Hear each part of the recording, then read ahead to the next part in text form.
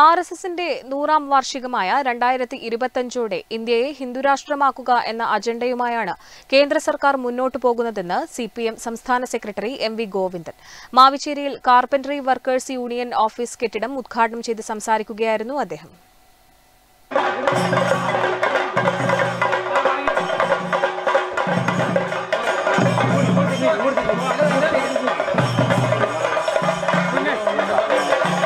ഏക സിവിൽ കോഡും പൗരത്വ നിയമ ഭേദഗതിയുമെല്ലാം ഹിന്ദുരാഷ്ട്രത്തിലേക്കുള്ള പടവുകളാണ്.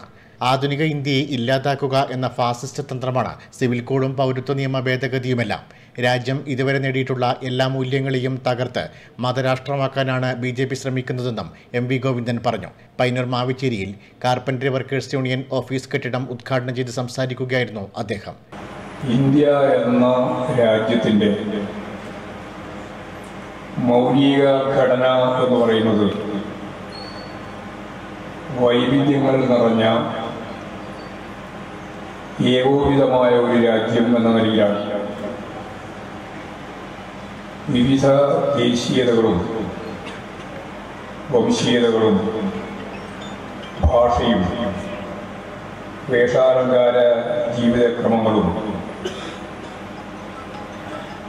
അതുപോലെ നിരവധിയായ വൈവിധ്യങ്ങളുള്ള ഒരു ജനങ്ങളെ നൂറ്റാണ്ട് നിലനിന്ന ദേശീയ പ്രസ്ഥാനം. അതിന്റെ നിരവധി കൈവഴികൾ. അതെല്ലാം ചേർത്ത് രൂപപ്പെടുത്തതാണ് ആധുനിക ഇന്ത്യ.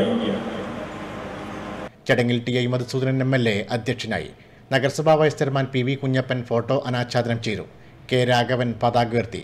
സി കൃഷ്ണൻ സപ്ലിമെന്റ് പ്രകാശനം ചെയ്തു. അരക്കൻ ബാലൻ ഉപഹാര സമർപ്പണം നിർവഹിച്ചു.